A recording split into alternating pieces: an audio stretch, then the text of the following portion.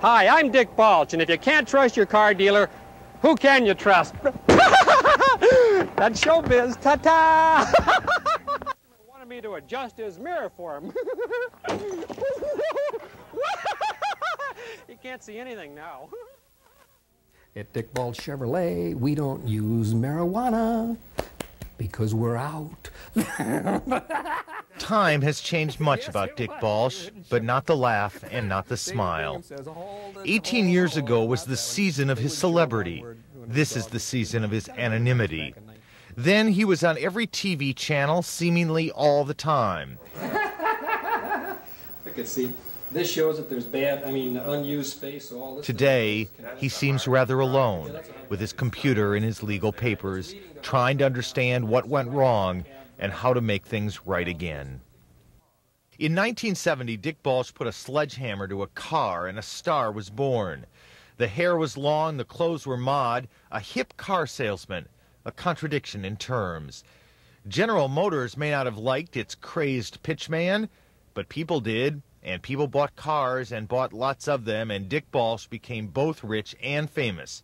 More of both than you can imagine. In 1978, the boom started to go bust. A bizarre trial. He was a witness. And the trial revealed a darker side of Dick Balch. Dick Balch, cocaine user.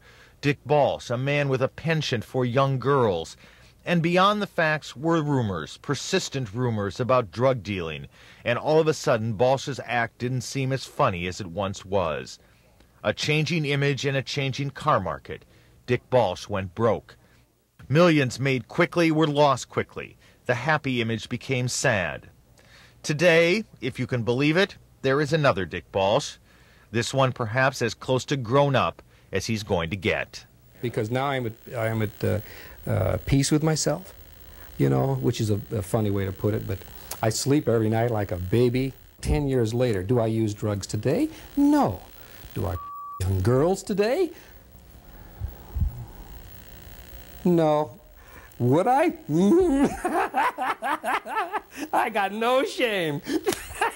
You got no shame. They got a really good agitator. Forces the water through the pores. This could be any appliance store in any city. The office area is busy. Salespeople are working the phones and anyone who happens to walk in. The floor is a blur of burners. And the toughest issue tackled here is which color the washer should come in. I prefer almond. Okay. But this place is different because it is owned by a man with an uncanny sense for finding customers. His name is Jack Roberts, and his commercials are the scourge of Seattle television. You cut my tie! Oh, here they come! Look out! I'm smashing prices! Volume, volume, volume. I won't be undersold. I think uh, on television, it doesn't matter as much what you do as how often you do it. Roberts does it all on television, and the biggest punchline to these silly spots is that they work. Roberts says his TV ads have improved his business by 50%. His advertising philosophy is simple get the viewer's attention, no matter what it takes. And that's why we do the things we do. That's why we tried chainsaws and sledgehammers and pies or cut your tie or whatever, you know, something that the people are going to remember. Robert shoots a uh, handful of commercials at a time, paying no attention to the finer points of television production. He and his wife appear with wires dangling from their clothes, posing in shaky backgrounds with sometimes shakier material. He doesn't care. I take all the credit for my wonderful commercials, but I write them and more or less produce them and star in them, if you call it that, or act in them, or act stupid in them, or stand in them, or whatever it is. Roberts claims his first attempt at advertising was worse than his work today. I think the first commercial, I was standing in my warehouse and I was real scared, standing about like this. Come on into Jack Roberts Appliance, I'll get you a really good deal. And everybody said I was stiff as a board and really looked bad, and you look scared, and I was scared. So Today, Roberts' fear of the camera is gone. In fact, it's hard to make him stop selling.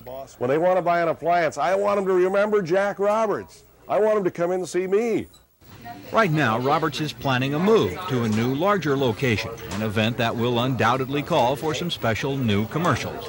One thing that will never change, however, is Roberts' approach to advertising. His ridiculous commercials have him laughing all the way to the bank.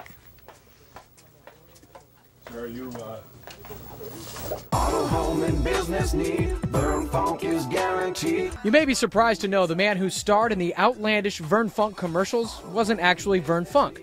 Robert Thielke became one of the most recognizable faces in the Northwest for the zany insurance commercials. One of his first in the early 90s was a Forrest Gump parody. Insurance is like a box of chocolates. With some companies, you never know what you're going to get. Thielke started as an insurance agent in 1989 and worked at the Everett Vern Fonk location. He told the Seattle PI it all started with just being goofy at the office, and Vern asked him to do the ads. He brought his creativity to your TV, spoofing pop culture hits like Back to the Future. I mean, come on! DWIs, SR22s, too many tickets? Vern Fonk Insurance will put one. Ah, you hit me! Buddy! Great Fonk! I've seen the future of car insurance! The actual Vern Fonk started the insurance company in 1952 and died in 2007 at age 75. But it's Thielke who everyone associates with Vern Fonk because the ads were one of a kind. If you've had an accident or ticket or DWI and you're not picky about the color it's printed on, We've got a policy for you. He rose to become president of Vern Fonk in 2013 and is so popular the Vern Fonk website sold t-shirts based on his ads. You don't have to frown, we won't turn you down. We can help you. He adapted with the times, embracing the World Wide Web. Get a quote on the phone or log on to the internet. His YouTube clips have been viewed hundreds of thousands of times. Hundreds of people have commented on the KIRO 7 Facebook page, sharing their favorite memories of Thielke and his commercials. Log on and join the conversation. John Nicely, KIRO 7 News.